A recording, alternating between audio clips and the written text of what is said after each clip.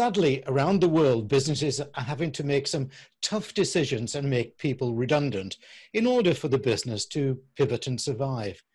That may also have meant recruiting new senior talent with fresh skills to move the business forward. Now, such new people, by their very nature, want to make a fast impression. And this could upset remaining team members who are loyal to the existing business culture of the company and worried about further change. So the CEO has a dilemma how to rally Remainers and do it effectively whilst unleashing the potential of the new talent. What's the solution?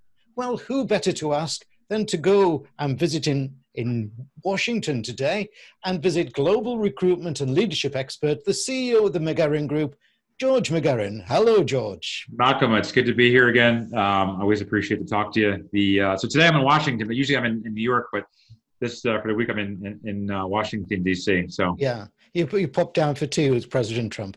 Um, George, you heard in my opening piece my scenario, which is starting to become common even here in the UK Parliament. Right. Where do you think the core thinking of the CEO should lie? Well, I think I mean you talk about a, a, a difficult topic, change, right? And uh, some some people are just not open to change. Uh, but I think the CEO, let's say that you know, with, with the with the remote environment that we're in now, and and and uh, and companies cutting, uh, just sometimes it's for pure existence. Sometimes it's because they they they've taken the time now to think about a better business model.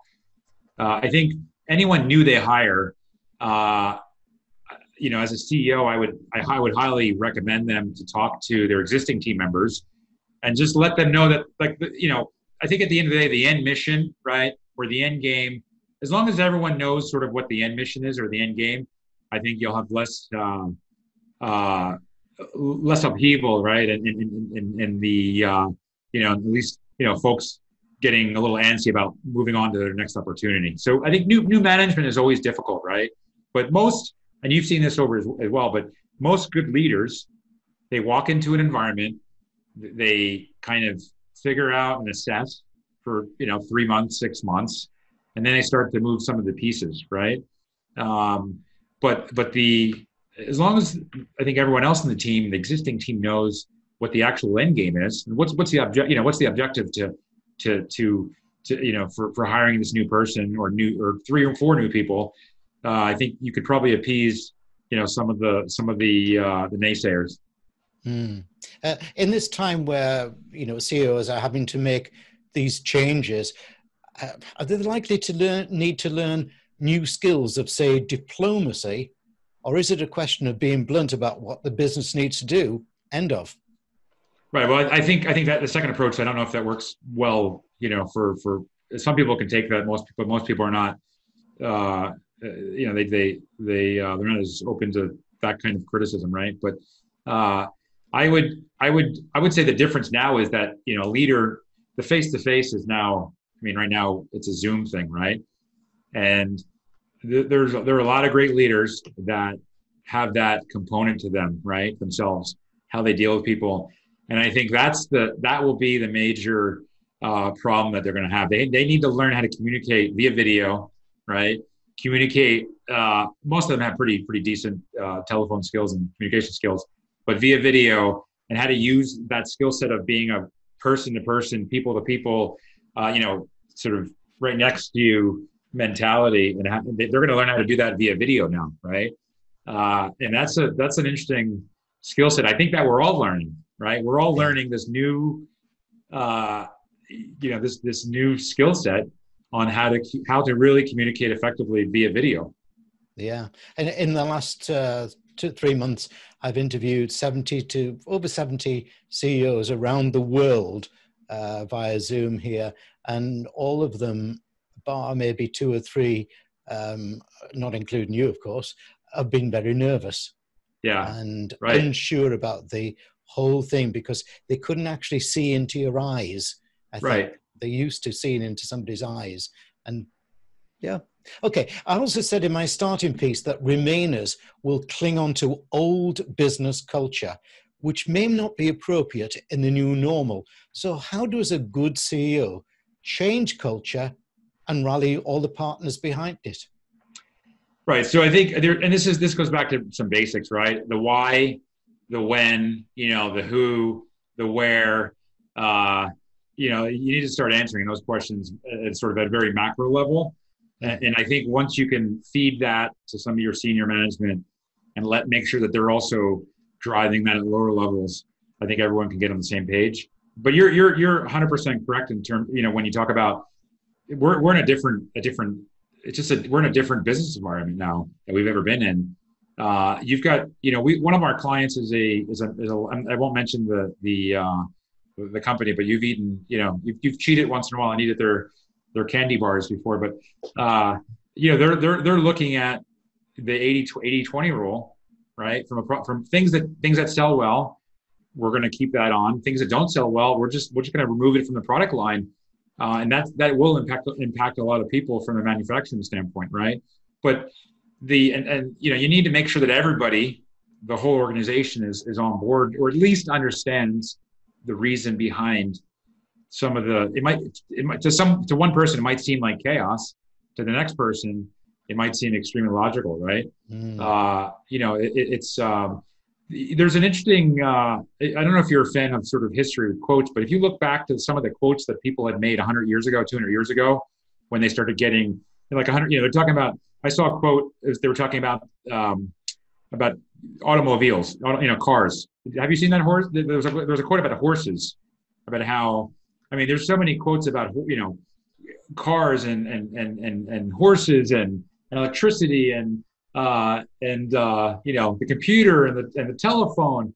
Uh, but I, you know, I think people have to realize what, what what's the, what is the why, and how are we going to get there? And uh, and that's that's a organizationally you have to make sure people are on the same track.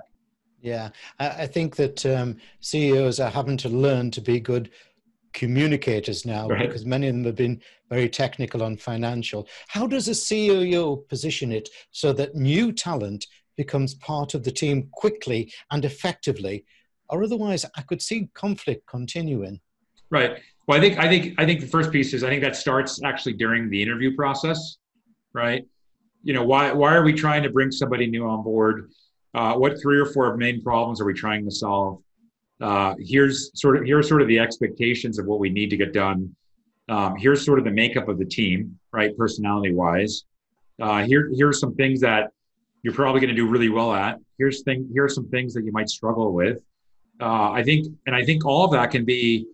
You can assess that during the interview process a lot of the times, and uh, I think the right future leader will, or the future, you know, let's say you're a candidate, if they're honest about if it's a right fit, the right fit or not, the smart ones will just either they'll they'll declare that it's a fit, and and if it's not a fit, they'll declare that it won't be a fit and uh, you, you, need to have symbiotic relationships, right? I don't know if you've seen this with organizations.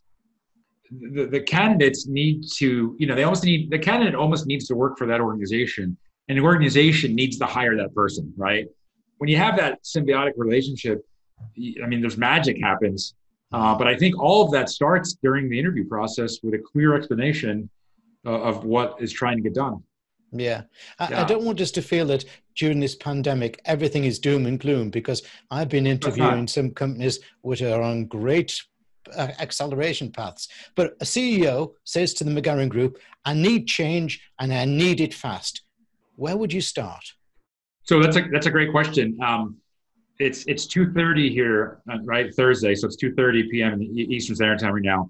In an hour, um, I actually have a call with a COO of a company to talk about that exact topic, right? Because we're we're running a, a search for a couple searches for them as we speak, and and I'm going to start the call with uh, what what are the three you know in a perfect world environment what are the three things you know if you could say you know it's this is the perfect environment what are the three exact things you're trying to accomplish right and the second question is are you financially are you financially emotionally willing to invest in that to make that change and those that, that's that's the exact that's the exact those are the exact two questions I'll be saying. I'll literally be asking in an hour with a with a major client of ours. They do uh, you know it's a it's a major uh, biotech company, right? So and they have the same problem. They've got you know they have a team that I think you know they're just not they're sort of stuck in 2010 and uh, you know, it's a, it's a, you know, the revenues are in the billions and they're just the, the writing is on the wall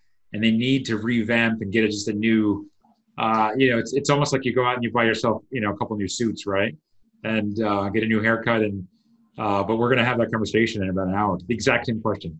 Okay. George, I'll have to come back to visit you to see how that conversation went. Thank you. But thank you very much indeed for the interview today. Thank you. Malcolm, thank you again. Appreciate it.